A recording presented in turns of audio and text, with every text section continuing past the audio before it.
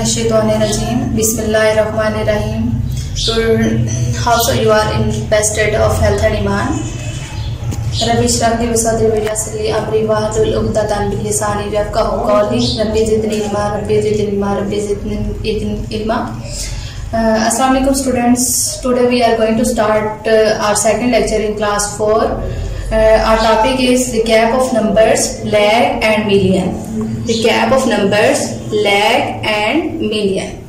Uh, and the objectives of this topic is learn about lakh and million learn about lakh and million and uh, where we use and how we use these terms.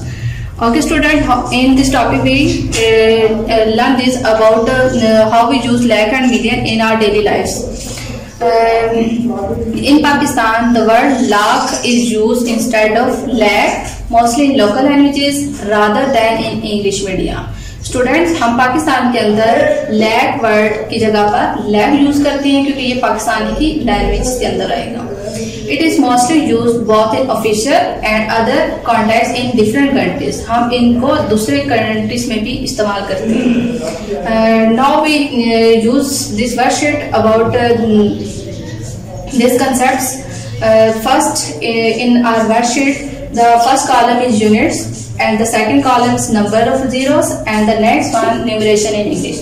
बच्चों, इन हम, इस worksheet के अंदर हम ये पढ़ेंगे कि एक जो भी हमारे पास यूनिट्स हैं, उसके अंदर जीरोस कितने हैं और उनको क्या बोला जाता है।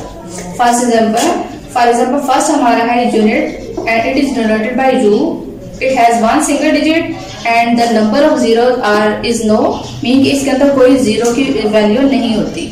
And it is called unit or ones and the second is 10 it has two digits 1 and 0 and it has number of zeros is 1 and it is called 10 and the third term is 100 it has uh, two zeros like this and it is called 100 and it is denoted by h.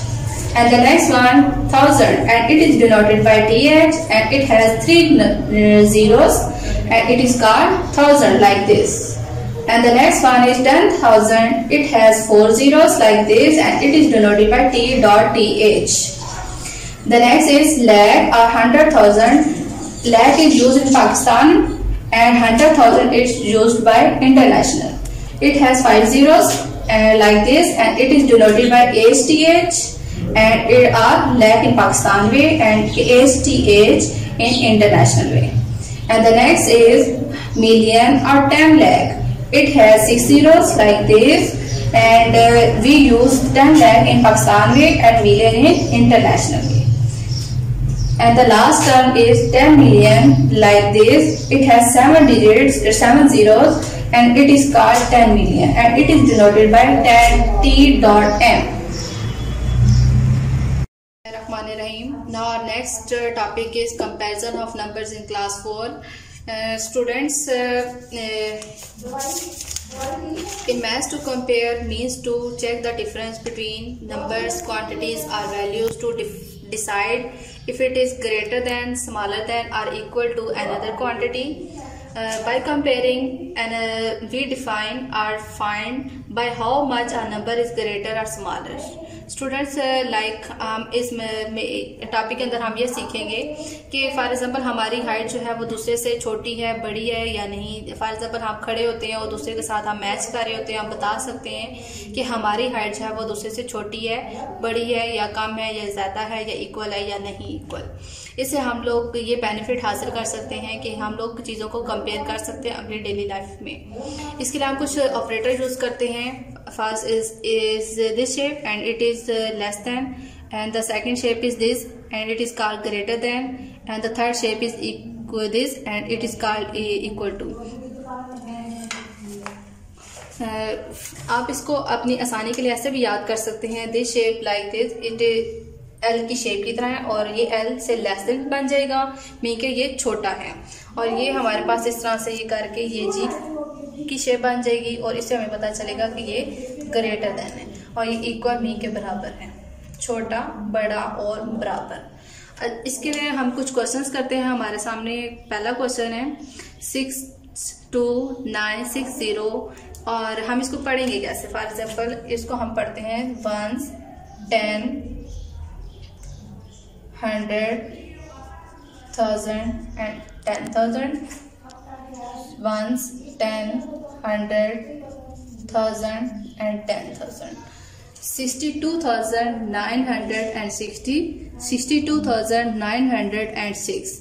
now we check which value is greater than from which side it is 62960 it is 62906 960 906 now uh, we know about 60 is greater than from 6. So this side is greater than from this side and we use this sign like greater. This side is greater than from this side. The next one is 72,900 and this side has 72,901. So we know 900 is less than from 901. So we use our first sign less than here. We uh, Now we check this side is less than from this side. And the third is 53,001. 53,001 it uh, both values are same so we use this sign equal बिसमीम the third topic is concept of predecessor and successor students आप अब हम पढ़ेंगे अब successor और predecessor के बारे में। सबसे पहले मैं आपको बताती हूँ प्रीडिसेसर क्या चीज़ होती है? Predecessor the number which comes before the given number कोई भी नंबर जो हमें वैल्यू दी हुई होती है, उसे हम एक नंबर पहले लिख सकते हैं। For example eight nine six seven six four five और इसको हम एक नंबर पहले कैसे लिखेंगे? आप रफ वर्क में देखें।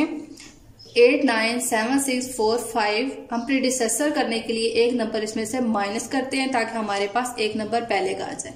Five minus one it has four four बाकी जो अमाउंट है वो हमारे पास सेम लिखी जाएगी। प्रीडिसेसर मीन्स कि हम लोग उसमें से एक नंबर माइनस कर देते हैं। और इसका आंसर हमारे पास लाइक दिस इस एग्ज़ाम्पल में 45 से एक नंबर माइनस करने के बाद 44 आ जाएगा।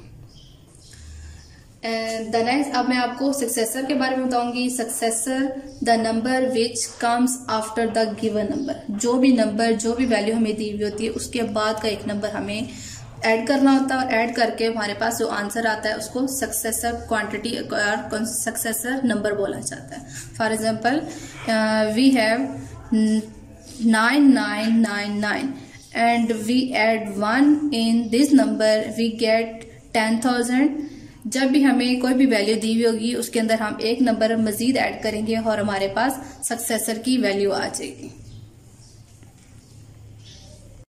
Students today diary about math about these topics is page number 7, question number 8, 9 and 11. Question number 8, 9 is related to predecessor and successor and question number 11 is related to comparisons.